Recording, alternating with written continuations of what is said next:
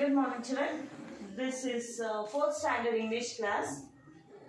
Hope you all are fine and uh, complete your work day to day, children. Don't keep any work pending. Okay? Take the help of your parents and complete. Now we are going to start our lesson. In the first class, I have explained you about the golden goose story. In the next class, I have explained you how to write beginning, middle, and end of the story. Right? Today I am going to cover two topics. Today I am going to cover two topics that is S3 and S4. Okay, our topic is identifying identifying the key details. Identifying the key details. Let me explain you the meaning of key details. Key details means it gives the important information about the story. It gives you the important information about the story. In the first paragraph, what is what is our uh, main key details? We'll see now. Okay. Open your reader, children we are going to uh, read the para 1 and then we are going to start.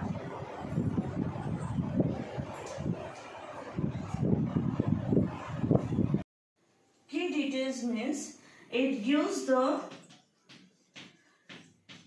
important information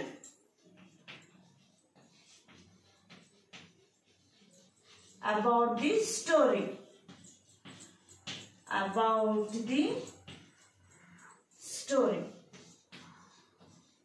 So if any important thing is there that is called as a key detail. For every story as i told you in the previous class we will have the characters settings. Right? In this story, shall I read the first paragraph? Open your reader. I'll read the first paragraph while I read. I want you to keep your finger over there and check. Okay. A very long time ago, there lived a magical goose. She had beautiful golden feathers. Not too far away from this goose lived a woman who had two daughters. They lived in an old mud house with creaking doors and windows that did nothing to keep the cold out. Every day they gathered old leaves and twigs to keep a small fire going. Now see, in this first paragraph they have told you about what was the scene it is happening in the picture. That means they have described the characters and the settings what they have shown you here the important thing what is the main key detail in this page is they are showing about the characters and as well as the setting. How many characters are there? Old woman her two daughters and the goose. Four characters right? Now this key detail we are having in every story we have in the beginning of the story in the middle of the story and at the end of the story. Key details we have at the beginning of the story, at the middle of the story and in the end of the story. Now, in the beginning, key detail, what are the important key details we have in every story about the characters and settings? Whereas in the middle, what will be the middle key detail? It tells about the action. This is the main important key detail which tells about the action in the story. Next, at the end, what happened at the end? That is the main important key detail in the story. Understood children? Now, after completing how to write uh, a summary by using the key details, after the explanation, I'll ask you to open your workbook. Then we are going to continue with the workbook in S3 and S4. Okay. So let me continue this S4 also key details in a summary. How these key details are useful to write a summary. First of all, what is summary? Summary means which gives the overall understanding of the whole story. For example, I can give you one example. If you go for a movie and uh, you want to tell the story to your friends, how will you tell that hero, heroine, uh, mother, father, everyone you will say, every dialogue to dialogue you will say. So that will take more time. So in short, how will you say what are the main main important things in the story? Uh, okay, I'll take the example of Golden Goose only. Okay, if I want to narrate the story Golden Goose to my friend, how will I say? There were there was a old man, two daughters, and they used to live in a village, and they used to live in a mud house. Um, there was a golden goose who saw them that uh, they were very uh, poor and they don't have proper money, they don't have proper food to eat, their house is not. This is dialogue to dialogue conversation, which is very, it takes a long time to explain the story, right? So summary means we can tell the important main points, that is, those are called key details. By using the key details, we can complete the story in short that is called as a summary okay now how to write this golden goose summary by taking the main important points that is characters settings. Okay and what happened in the mid beginning middle and end? By using these five things we are going to write the summary. By using the main five points we are going to write the summary. Like old woman used to live in a mud house with her two daughters. With her two daughters. Once a goose, once a golden goose.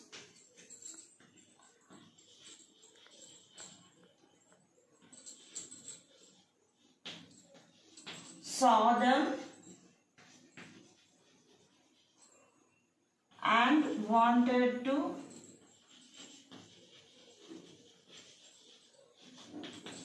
help them as they were poor.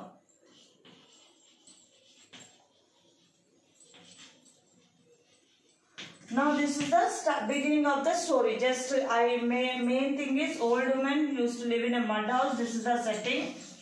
This is a character again. This is a character. These are the main points. These are the main key details, characters and setting. Understood? This is the beginning of the story. What happened at the middle? What was the action it happened? Golden Goose decided to help them by giving one golden feather daily to them. And at the end, what happened? The old woman became greedy. It caught the golden goose and uh, plucked by force plucked the flowers of the golden goose and wanted to become rich. Right? Stop.